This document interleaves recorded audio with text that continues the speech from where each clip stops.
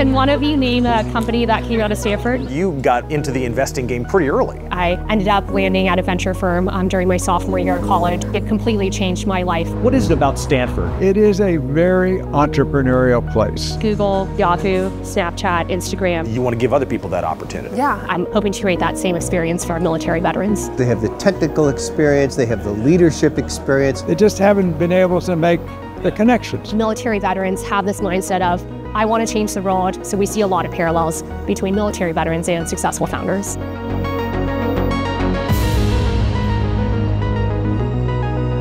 The Bay Area has been the capital of the tech world for as long as most of us have been alive. It's also a place with a long military history. They're two different worlds, but now a group of Silicon Valley investors wants to bring them together. They think the next big thing in tech could be American veterans. Ernestine Fu is telling the story of how it all began. Silicon Valley did not exist. It was basically just greenery, flowers everywhere. It was 1939, and the dean of the Stanford Engineering School encouraged Bill Hewlett and David Packard to start their company, HP, in a nearby garage. There's now a life size model of it inside Stanford's library. This is a replica of one of their first products. Her audience on this tour a mix of techies, investors, and future startup founders who all have one thing in common they've all served our country in uniform. Though their jets can seem to be made out of pure adrenaline, and their nerves made out of solid steel.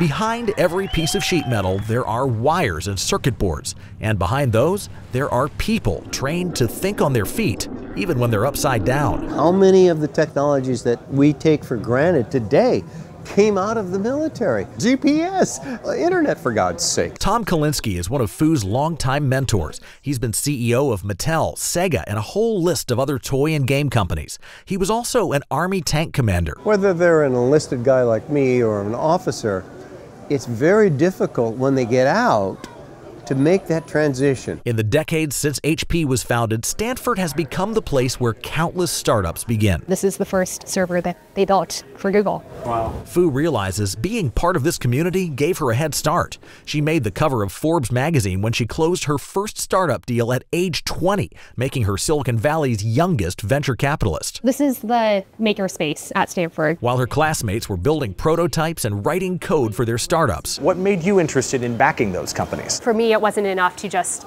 focus on one company, one idea, but I loved the idea of being able to have a broad portfolio of companies to support. And she did it all while earning her bachelor's, two master's, and a PhD from Stanford. By the way, Ernestine is one of the smartest people I've ever known in my life. Fu comes from a military family and married a former Navy SEAL. One thing that I've noticed is if you serve in the military, you don't necessarily have access to the best opportunities in Silicon Valley compared to someone who maybe went to Stanford for undergrad. But now she's set out to change that with a venture fund called Brave Capital and events like this called Brave Convenings. We're providing exposure to this is what's happening in Silicon Valley.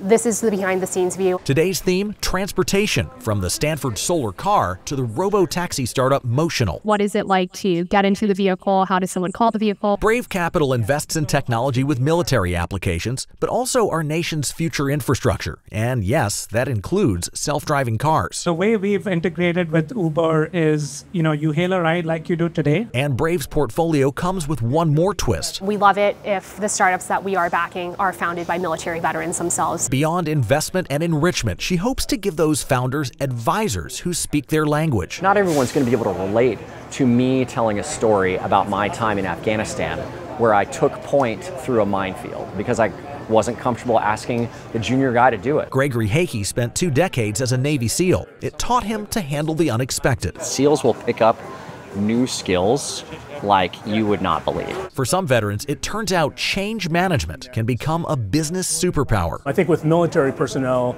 they've dealt with a lot of those outlier situations through their careers, situations that aren't necessarily addressed um, in a manual, in a standard operating procedure. Bryant Ling was a Navy pilot, then worked in federal law enforcement. Now he's wearing a new hat investor in Brave Capital's new fund called Milvet Angels. We have a group of 100 plus successful military veterans who have become actors, astronauts, successful business leaders. And together they're pooling their money to back a new generation of fledgling startups, veterans investing in veterans. It all makes one of Fu's earliest mentors pretty proud. I knew Ernestine was destined for great things. It's going to help the veterans, going to help Silicon Valley. I don't have any question about that. Former Stanford Law School Dean Tom Ehrlich was here before most of the big tech companies. Now he can't wait to see Silicon Valley's next chapter and the role his fellow veterans will play. We're about to see another huge revolution going on in artificial intelligence, and aren't we lucky to be here to watch it?